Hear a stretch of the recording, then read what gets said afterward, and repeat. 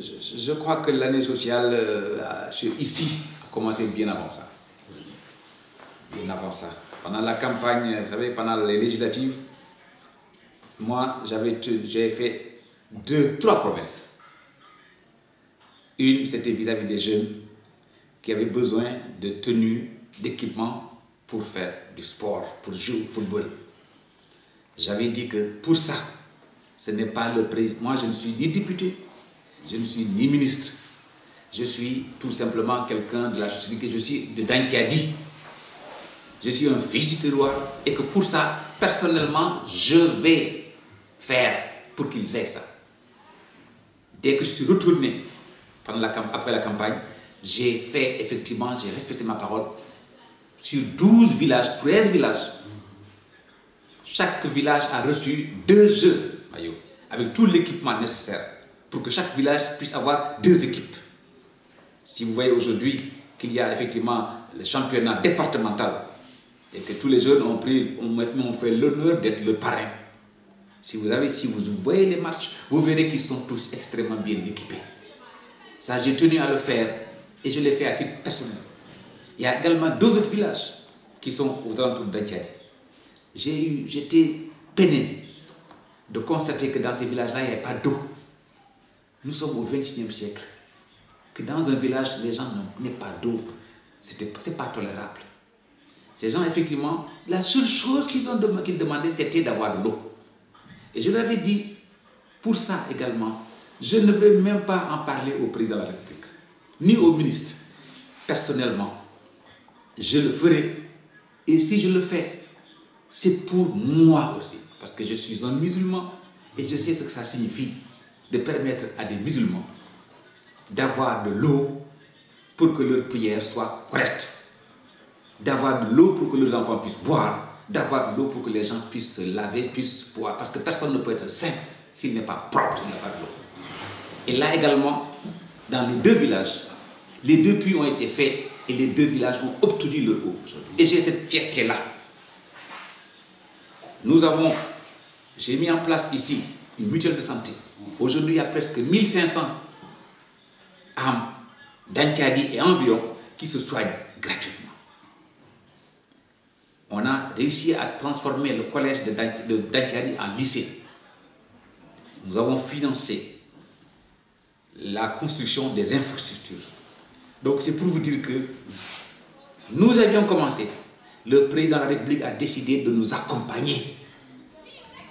C'est pour ça que, pour revenir à votre question, j'étais aujourd'hui à l'hôpital parce que le directeur de cet hôpital-là, avec un ami à moi qui est là-bas, Issa, si, sont en train de faire de l'excellent travail. Ils m'ont sollicité sur un aspect minime que, à titre personnel, je peux faire. Et j'ai pris l'engagement, effectivement, de les accompagner à ce niveau-là. Parce que le social, tout ne doit pas venir de l'État. L'État, nous sommes un État sous-développé. Il faudrait que chacun, si chacun, je parle de principe, si chacun faisait le minimum dans son village, ou bien dans sa commune, ou dans son département, parce que chacun peut faire quelque chose. Si chacun en faisait un sacerdoce, se lever pour permettre à, effectivement là où, là où il vient, parce que nous venons de là, nous avons tous un coin où nous venons. Si chacun avait ce yermande-là vis-à-vis de ses parents, l'émergence ne se poserait pas. Si chaque village a de l'eau, si chaque village a un dispensaire pour se soigner, si chaque village est accompagné au niveau de l'agriculture, c'est quoi l'émergence? L'émergence, c'est une mise à niveau. Donc, cette mise à niveau-là, si chacun se débrouillait, et si mieux d'ailleurs, au, lieu que ce soit chacun, si les cadres, ceux à qui, dans fortune, Allah, Dieu, a donné un peu plus que les autres, si ceux-là mettaient le peu de moins qu'ils ont en synergie, nous pourrions chacun mettre sa commune à niveau. Et si on réussit à mettre chaque commune à niveau, l'émergence est atteinte. Je, je, moi, je fais ce que je peux. Vous avez, on a visité aujourd'hui, je suis en train de mettre en place une radio. Et cette radio-là emploiera des jeunes de la commune.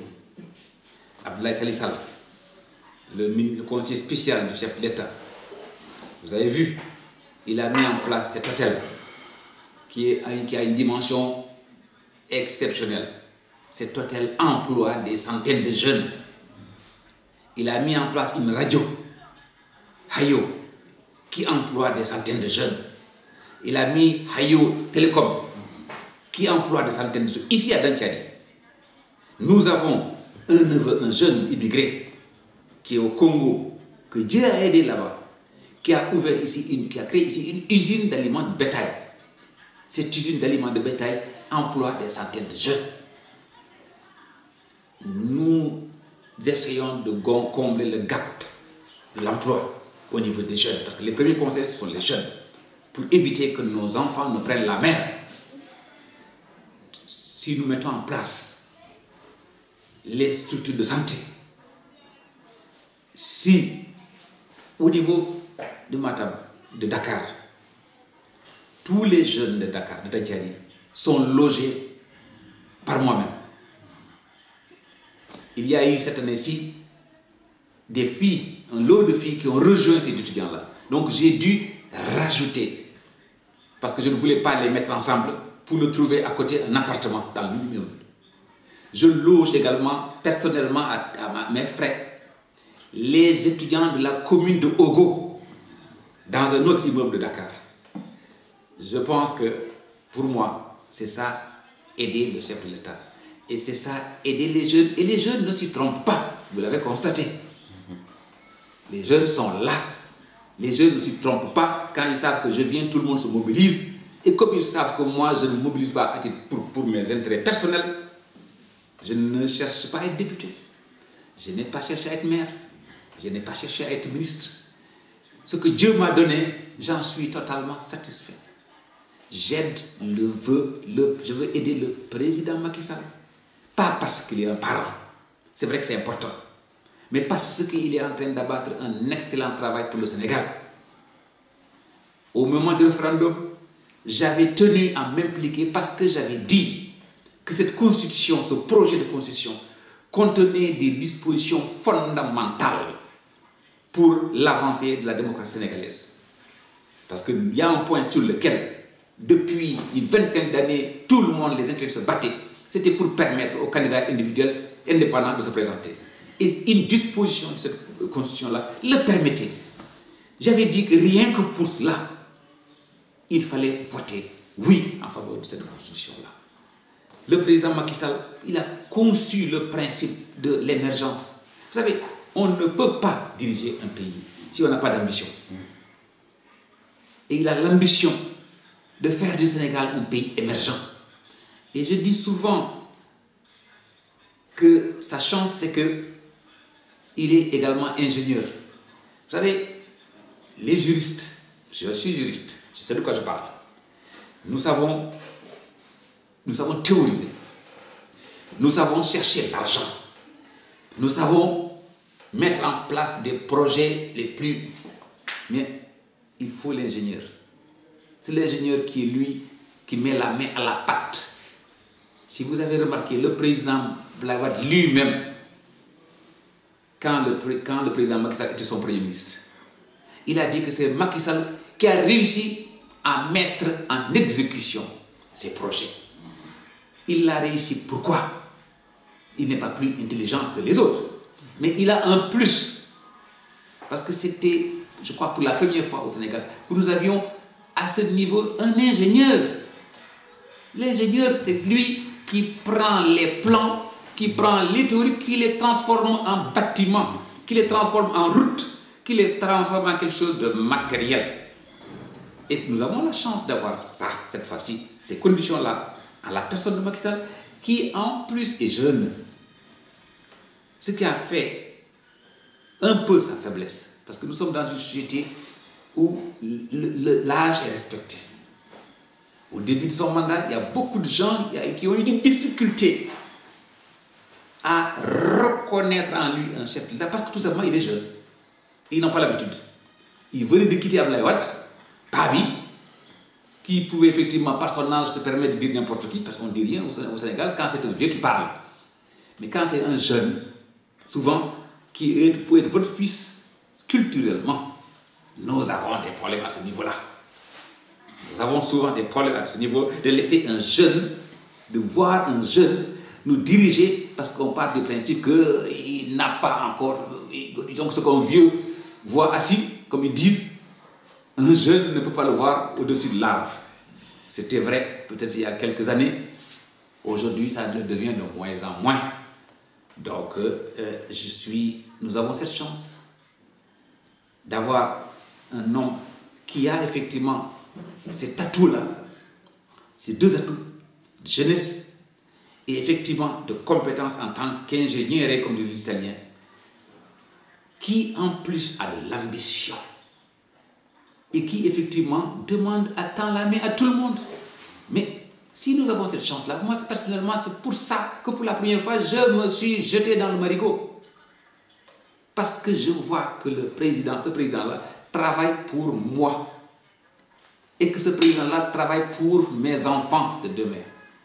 Quand vous voyez quelqu'un travailler pour vous, quand vous voyez quelqu'un travailler pour vos enfants, vous n'avez pas le droit de rester au bord de la route et à lui dire félicitations, félicitations. Vous devez mouiller le maillot. Vous devez l'accompagner pour que ce travail qu'il est en train de faire soit bonifié.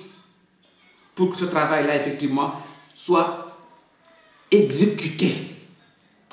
Pour que la population cible, en ce qui me concerne, la population la plus faible, la population des villages, ne soit pas oubliée dans ces projets-là. Et c'est ça également une des raisons pour lesquelles je me suis investi afin que mes parents, mes voisins ne soient pas oubliés dans le développement qui se dessine, dans le magnifique environnement qui se dessine pour le Sénégal. Parce que comme vous avez vu également, on a découvert du pétrole, on a découvert plein de choses. Eh bien, il est important, si on a la possibilité de pouvoir être là où on parle, là où on peut entendre, d'aller là-bas pour le compte de ses paysans, pour le compte de ses parents, pour le compte de là où on vient, pour que ces gens-là puissent profiter le minimum possible, effectivement, de cette perspective magnifique qui se destine pour le Sénégal.